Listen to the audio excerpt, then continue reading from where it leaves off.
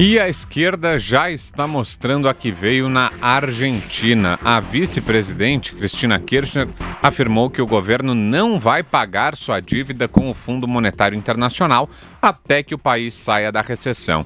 A afirmação foi feita na Feira Internacional do Livro em Havana, Cuba, durante a apresentação do seu livro Sinceramente. Ela disse: se há uma recessão, ninguém vai pagar sequer meio centavo e a forma de sair da recessão é por meio de muito investimento estatal.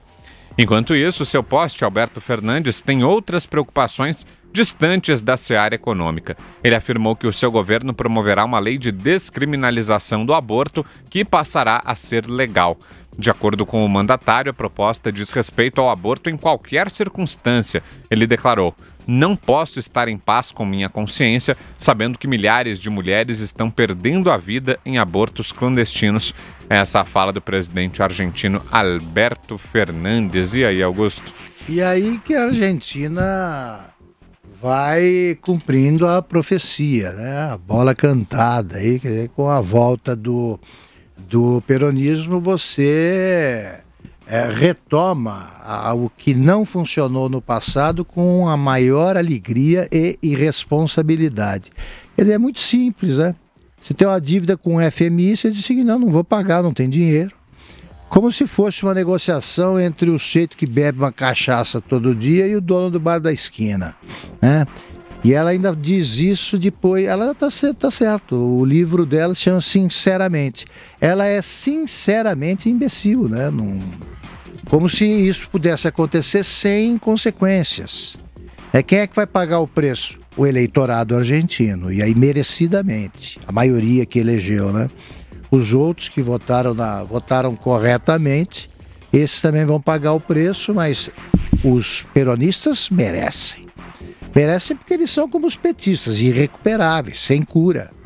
Não tem jeito, eles insistem em errar. Agora, o presidente Alberto Fernandes, se deixar que a Cristina dite os rumos da Argentina, ele vai percorrer também, como tantos outros aí, o atalho que leva ao precipício, ao penhasco. E lá vai desabar de novo, prejudicando seriamente o Brasil. Os efeitos sobre a economia brasileira da crise argentina já, já se manifestam. Vão piorar. Diga, Zé. É, Augusto, mas a indicação é de, de que a Cristina Kirchner está, vai mesmo mandar na Argentina, viu? Era o que se temia, era o que se falava, e ela, como vice, está mandando no Fernandes e mandando de uma forma errada. O mundo hoje é muito globalizado. Né? E o mercado funciona com a inteligência incrível e é covarde. O capital é muito. Não há nada no mundo mais covarde que o capital. Quando ele vê um risco, ele corre. É a Argentina hoje entrou na rota do perigo internacional. Ninguém leva dinheiro para lá, ninguém investe, porque corre o risco de ter uma empresa, por exemplo, nacionalizada. Quando se quebra as regras, aí todo o mercado se volta contra. E não é por vingancinha não, porque os negócios são assim. E o mundo hoje, ele é todo integralizado ele nenhum produto é 100% de uma nacionalidade.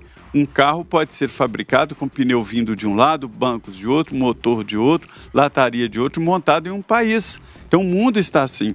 E quando você é, é, radicaliza, porque o não pagamento, um calote desse tamanho, é muito problemático. O que se pode fazer é chamar para negociar mudar o perfil da dívida, alongar os prazos de pagamento, mostrar as dificuldades do país, mas um corte unilateral isola um país. E se ele não tiver, e a Argentina não tem, se ele não tiver condições de se manter sozinho, ele vai penar. Né? Então é a Kirchner arriscando o futuro da Argentina mais uma vez. Não se pode fazer mais isso.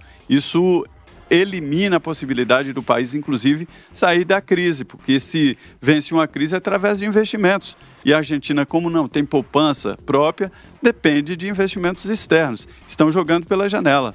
É incrível, né, Augusto? A gente nunca pensava que um raio cairia duas vezes no mesmo lugar. Esse Os caiu. argentinos fizeram aí esse desfavor ao país.